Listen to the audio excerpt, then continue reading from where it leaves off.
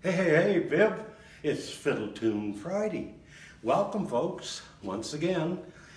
Today uh, we're going to do uh, a medley of waltzes, and uh, these have been requested, so we're going to do them for you folks out there.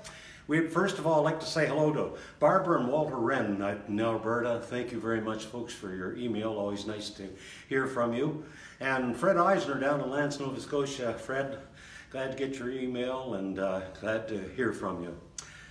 Over the Waves is going to be our first uh, of our series of waltzes, and uh, we're going to send that out to Diane Anderson. Uh, she requested this, and also Jerry and Diane Boulay. Remember those Florida days, eh? 56th anniversary, and I believe it's tomorrow, April the 24th. So all the best to you folks, and sorry we can't be there to help share it with you.